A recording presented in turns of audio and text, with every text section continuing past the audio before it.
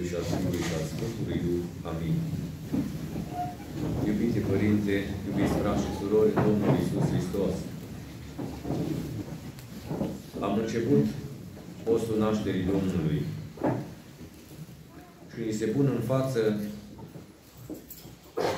tot felul de oameni bogați, tot felul de oameni care sunt în căutare. Ați văzut în duminica trecută învățătorul acela de lege care căuta să-și mântuiască sufletul, o căutare foarte frumoasă, îmi zice noi. Am văzut în cealaltă duminică pe bogatul cel nemilostiv și pe săracul Lazar, care în nebunia lui n-a fost în stare să dăruiască nici măcar firimiturile ce cădeau de la masa lui. În duminica aceasta îi se pune în față o altă pildă a Domnului Isus Hristos, cu bogatul care i-a rodit țarina. Și pilda aceasta o găsim în capitolul 12 de la Luca, în contextul în care la Domnul Isus Hristos vine cineva din mulțime și spune învățătorule, spune fratele meu să împarte cu mine moștenirea. Probabil că s-au și certat de la moștenirea aceasta. O, câte situații avem până în ziua de astăzi de felul ăsta. Oameni care nu se pot înțelege, frate cu frate, de la moștenire. Ce mi-au lăsat părinții, ce mi-au lăsat nu știu cine, ca moștenire, ca avere. Pentru că una din bolile omenirii tocmai aceasta este să facă confuzie între a avea și a fi. Și nu doar confuzia aceasta, mă gândesc, toată Evanghelia din ziua de astăzi este plină de confuzii. Bogatul acesta care a rodit țarina este un om care confundă lucrurile. Și mă gândeam, oare de ce le confundă? Păi confundă sufletul cu trupul. Că zice sufletului, mâncă, bea, veselește-te, odihnește-te. Sufletul nu face, nu se odihnește, nu mănâncă, nu bea în felul acesta. Confundă proprietățile. Că noi suntem proprietari pe sufletul nostru, atât. În rest, pe nimic nu suntem proprietari. Nu? Ați văzut cu bogatul nemilostiv și săracul Lazar, că i-a zis la Avram, o picătură numai de apă, nici pe atâta nu mai era proprietar. Păi cum erai tu, mare bogătaș, dacă pe o picătură de apă n-ai fost în stare să fii proprietar? Să o iei la vreme potrivită. Și vă spuneam atunci că Dumnezeu ne-a lăsat administratori, nu proprietari. Și nu avem impresia că suntem proprietari. Altă confuzie. Să confunzi sufletul cu trupul. Să confunzi valorile. La urma urmei, o valoare adevărată este aceea care nu se sfârșește niciodată. Păi cum să investești în pământul acesta când știi că ești trecător? Uitați-vă, toate religiile lumii, să știți, investesc în ceea ce este dincolo. În ceea ce este după viața aceasta pe pământ. Numai o nebunie de minte poate să gândească că aici e totul. Și gândirea aceasta, sistemul ăsta de gândire, dacă vreți, al bogatului din Evanghelia din ziua de astăzi, ne pândește pe fiecare dintre noi. Valorile societății în care trăim sunt exact la fel ca acestui bogat pe care Hristos îl numește cum? Nebun. Păi dacă îl numește nebun, noi vrem să fim împreună cu el? Care erau valorile lui? Păi să strângă cât mai mult. Să adune cât mai mult. Avea ce mânca, avea unde sta, avea cu ce să îmbrăca, nu avea de toate. Și când i-a rodit țarina, aici zic părinții, cum de i-a rodit țarina? Cine a făcut să-i rodească țarina? Păi tot Dumnezeu. El în loc să-i dea slavă lui Dumnezeu, în loc să se gândească, oare de ce mi-a dat Dumnezeu așa mare producție? De ce mi-a dat Dumnezeu așa mare dar? Oare nu se împart și la ceilalți? Nu. Mi-a dat ca să strâng pentru mulți ani. Vedeți confuzia? Pentru ce? Pentru că inima lui, pentru că viața lui, pentru că sistemul lui de gândire era orientat în jos. Și aici vă rog să fiți foarte atenți. Că fiecare dintre noi ne facem un sistem de gândire și de valori Dacă valorile noastre sunt îndreptate în jos, înspre pământ, inima noastră se lipește de pământ. Și atunci ce facem? În fiecare zi investim în ceea ce considerăm noi că e valoare și ne trezim la sfârșitul vieții, știți cum zicea uh, Alexandru Macedon, ce când mă puneți în sicriu să mă lăsați cu mâinile afară. De ce? Să vadă toată lumea că am cucerit întreaga lume și nu duc nimic cu mine. Pe unde valorile?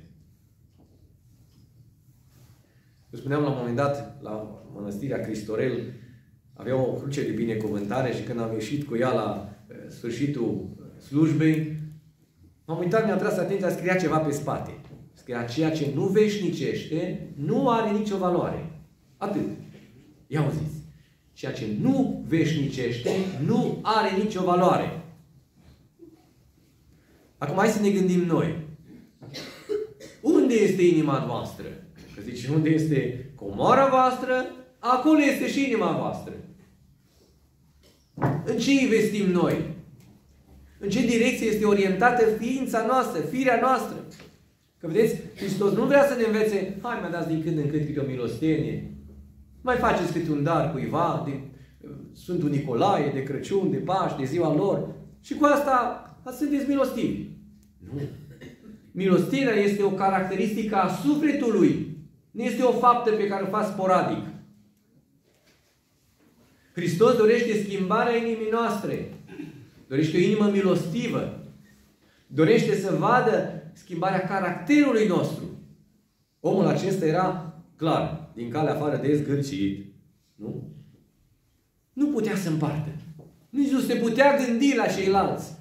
Se gândea numai la sine.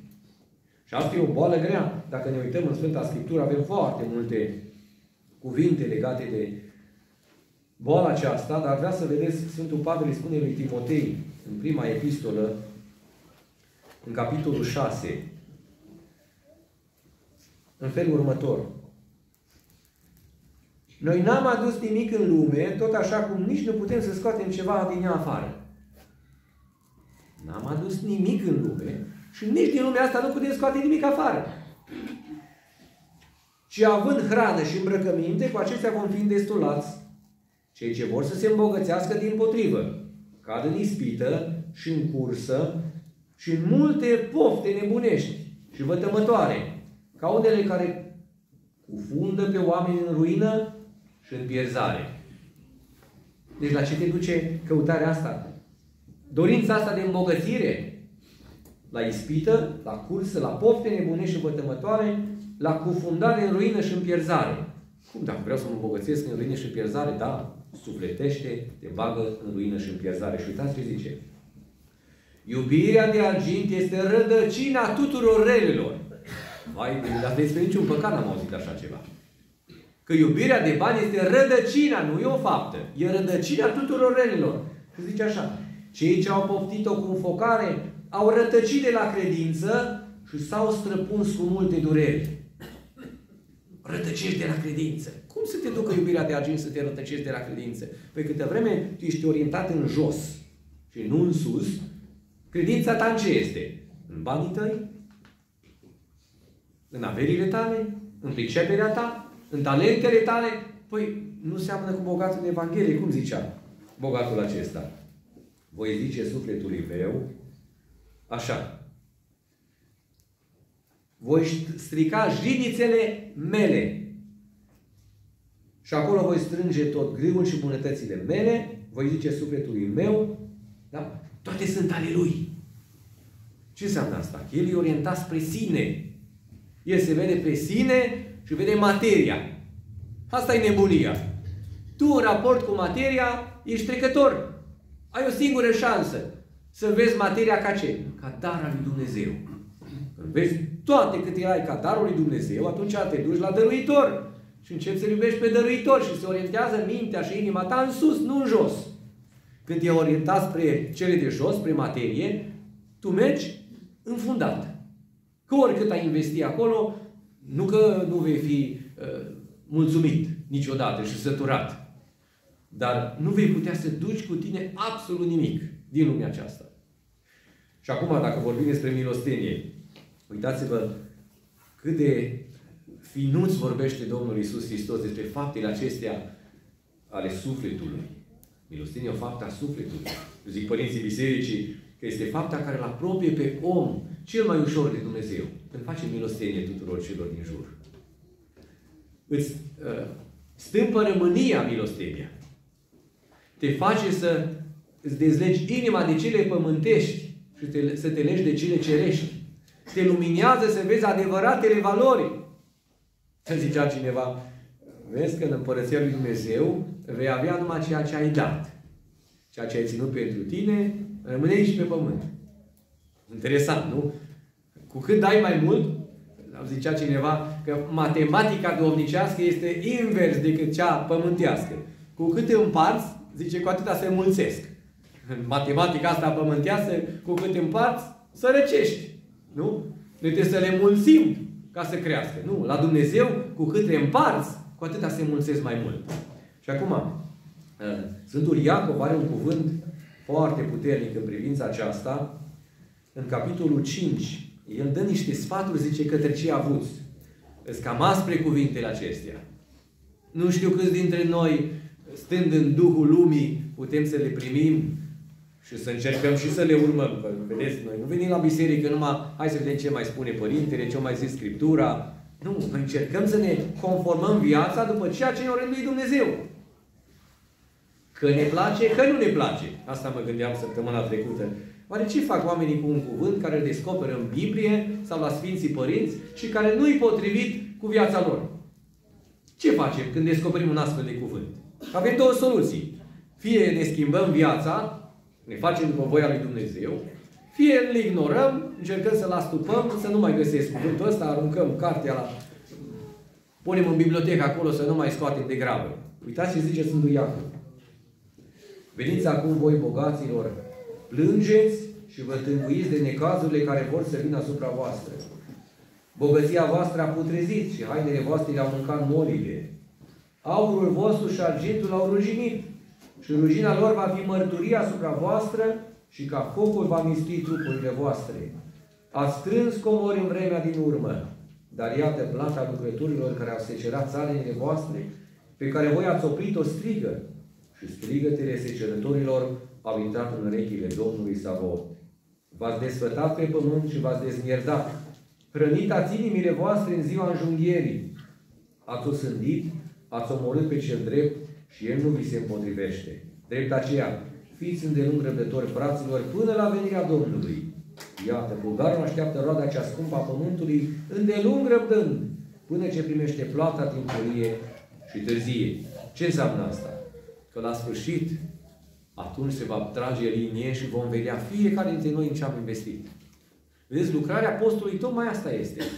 Noi, hai să mai lăsăm stomacul, să mai lăsăm trupul acesta, zice Sfântul Pavel, grija de trup, să nu o facem spre pofte. Și să începem, nu să strângem, dacă nu folosim pentru trup, să împărțim, să dăruim la cât mai mulți oameni. Dacă vreți, Dumnezeu nu împotriva uh, muncii și a salariului, nu. Dar uite-te și în dreapta și în stânga și vezi cât suferă ceilalți. Niciodată nu te ancora, să ieși în evidență prin ceva. Nici măcar prin milostenie, zic părinții bisericii, să nu ieși în evidență. Că spuneam, Domnul Iisus Hristos vorbește despre faptele milei trupești, despre rugăciune, despre post, despre milostenie. Deci acestea trebuie făcute cum? În ascuns. Dacă nu le faci în ascuns, și ți-ai luat plata. Dacă nu le faci în secret, Adică să nu știi, nu faci publicitate cu ele. Păi lumea de astăzi face o, o milostenie imediat, poze pe internet, gata, facem dări de seamă, facem de toate, reclame, uite cât bine am făcut. O fi asta. Asta nu e milostenie. Este asistență socială. Dar nu e milostenie. Să nu facem confuzie. Milostenia nu știe stânga ce face dreapta. No, câtă milostenie avem noi din care nu știe nimeni cât am făcut bine, cât am ajutat pe cel din dreapta și din stânga. Asta contează în fața lui Dumnezeu. Asta înseamnă că tu ai mintea și inima orientate în sus, adică nu te interesează ce spun oamenii. Ne așteptăm de foarte multe ori, asta e confuzia uh, sufletelor noastre, așteptăm confirmarea oamenilor. Zic oamenii că ești bun, ești de treabă, super. No, bine, dacă zis oamenii, m-au aplaudat, no, înseamnă că-s bine. Ceva e vouă când oamenii vă vor vorbi de bine. Dar noi vrem Să ne vorbească din mine. Ținem la imaginea noastră foarte mult. Cum arătăm? Cum ne îmbrăcăm? Cu ce fel de haine? Da? Acum o să ziceți, păi noi nu suntem tare mulți bogați. În biserică, din păcate, nu prea avem oameni avuți. Puțini. Aceia care se trezesc de cap și care să mai gândesc, băi, vine și sfârșitul vieții mele și trebuie să mântuiesc sufletul. Probabil. Dar uitați-vă, milostenia nu este doar pentru aceia care sunt super avuți, să zic așa. Milostenia pentru tot omul care vrea să se mântuiască. Nu dăm milostenie pentru săracul sau pentru cel care nu are tot ce-i trebuie. Dăm milostenie ca inima noastră să nu se lege de pământ. Așa cum am zis și de post. Și acum, dacă îl luăm pe Hristos în serios, dacă am știut noi ce valoare are milostenia în fața lui Dumnezeu, păi nu ne-am mai uitat niciodată la ale noastre ca fiind ale noastre. Ne-am uitat, uite, am o casă, păi mi-a dat-o Domnul. Am un salariu, mi l-a dat Domnul. Am o minte cu care gândesc, mi l-a dat Dumnezeu. Toate sunt darul lui Dumnezeu. Și atunci darul lui Dumnezeu ce fac cu el? Păi îl pun în lucrare, să se bucure și alții de el, nu numai eu. Numai eu în mod egoist. Nu știu dacă ați auzit de Petru Vameșu. Petru Vameșu era un om foarte, foarte bogat, era Vameș, strânsese o avere imensă, și din care apare dezgărcit. Nimeni nu l-a văzut dând ceva vreodată. Niciodată. Și la un moment dat, câțiva dintre uh, săracii orașului zice, eu mă duc și iau milostenie la Petru Vameșu. Bă, nu cred, ăla nu-ți dă orice ai zice, nu-ți dă, nici cum. Și s-o dus și o cicălit și toată ziua cu Petru, dă și mie ceva. Și așa de tare l-a nervat, ăsta voia să ia o piatră să-i dai în cap, dar nu a găsit nicio piatră, că era în căruța cu pâine. Ducea pâine de la brutărie acasă. Și îți ia o pâine și o aruncă după sărac. Și ăsta, uite, vine bucuros, uite că a luat o pâine la Petru Vameșu, știți? Și Petru Vameșu și el mai supărat, domnule, uite, m-am făcut, așa m-am enervat, eu trebuie să arunc cu pâinea după el. Și părea rău și de pâinea aia ciodată. Și că într-o noapte, visează că a murit. Nu mai visează. Și îl iau îngerii și îl duc sus, în fața lui Hristos. Și acolo, toate faptele lui puse pe tale.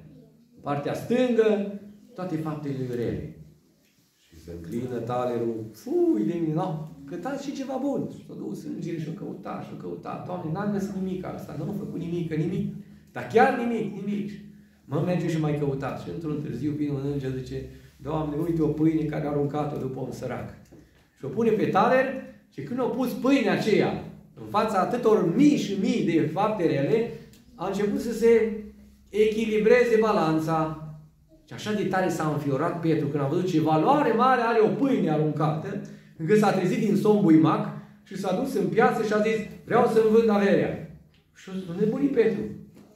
Și a vândut toată averea și a împărțit-o toată la săraci și după aceea a zis, nu-i destul. I-au zis, toată averea a rămas fără nimic. Nu-i destul. După câțiva ani de zile au zis,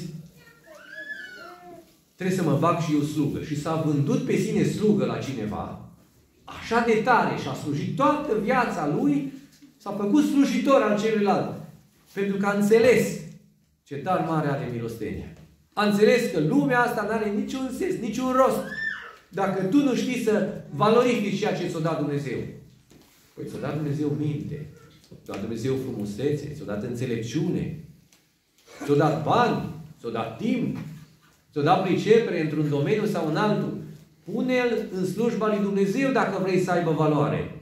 Dacă le faci pentru tine, te vor lăuda oamenii, cum zice Mântuitorul adevărat, vă spun, și-au la plata lor și cu asta se încheie viața. Păi pentru atâta ne-a creat Dumnezeu? Pentru a, fi, a primi niște laude de la oameni? Uitați să zice fratele Traian Dorz despre avuție. Care e valoarea adevărată a noastră? Avuția cea mai scumpă este dragostea curată. Ce o adună și o păstrează o credință adevărată. Extraordinar. Să ai dragoste curată și credință adevărată. Să nu faci confuzie. Câtă confuzie este în ziua de astăzi între ceea ce numim noi iubire sau dragoste. Oamenii cred că e dragoste dacă fac prostii, dacă fac păcate. Vai, nu mă mai iubește. Păi stați un pic. Dragostea înseamnă să te dăruiești pe tine. Ca și milostenia, nu? Hristos de aceea a venit din cer să se dăruiască pe sine, să ne arate cu adevărat ce iubirea. Și iubirea avem din Hristos. Nu avem de la noi înșine. Da, credința adevărată. O, câte confuzie este și cu asta în vremea în care trăim. Mulți se cred că sunt ortodoxi, dar nu trăiesc ca ortodoxi, nu cred ca ortodoxi, nu urmează părinții bisericii, nu urmează învățăturile bisericii, nu. Păi asta îmi place, asta nu-mi place, îl alegem. Păi mai e credința adevărată? Nu mai e. Avuția asta crește în cuvânt și faptă bună și aduce cui o are a virtuților cunună. Nu aceea bogăție care furii pot să o sape, care viermii pot să o roagă, ori să o ducă foc și ape. Nici aceea, nici aceea de care moartea poate oricând a te disparte, ci aceea ce rămâne pentru veci și după moarte. Acum mă întreb, ce mă rămâne mie pentru veci și după moarte? Cu ce rămân eu? Dacă mor astăzi, cu ce mă duc în fața lui Dumnezeu? Și închei cu o poveste care, să vedeți ce, ce finețe are învățătura noastră ortodoxă. Zice că un om a pus de vânzare doi cai negri, foarte frumoși, rasă pură. Și unul era prețul dublu decât celălalt. Și au venit oamenii pe acolo să se uite, no, toți să dădeau cu părerea, certare, să pricep la cai. Zice, uite, spuneți-mi, de ce unul e mai scump decât celălalt? E dublu prețul. Au început să se învârtă în jurul lor, în dreapta și în stânga. Nu au nicio diferență. La fel era. Amândoi exact la fel. Păi zice, n-am văzut. Și am încălecați, mergeți, că poate descoperiți așa. Și eu încălecat câțiva călăreți, au făcut câteva ture. N-am văzut nimic, aleargă la fel de tare amândoi, la fel călăresc de frumos. Și atunci zice, n-ați observat așa e? N-am observat. Ce să observăm? Și chiar mi-am bătut capul, n-am găsit nimic. Păi uitați-vă ce face diferența. Și unul când aleargă, nu scoate praf deloc în spatele lui. Celălalt scoate un nor mare, mare, mare de praf când aleargă. Nu zice, asta face diferența. Extraordinar. La fel și între oameni. Sunt oameni care îl urmează pe Dumnezeu și nu fac niciun nor de praf în spatele lor. Și alții care fac câte o faptă bună, și ăia fac fapte bune, nu? Dar praf ce se ridică și lumea din ziua de astăzi, din păcate, prețuiește mai mult praful decât smerenia pe care Dumnezeu prețuiește invers. În fața lui Dumnezeu, toată fapta făcută în smerenie și în ascuns e valoroasă. Tot ceea ce schimbă omul înăuntru lui e valoros. Ceea ce se vede pe din afară nu are nicio valoare. Domnul să ne ajute să înțelegem taina aceasta, să nu mai confundăm niciodată nici sufletul cu trupul, nici valorile adevărate cu cele trecătoare. Amin.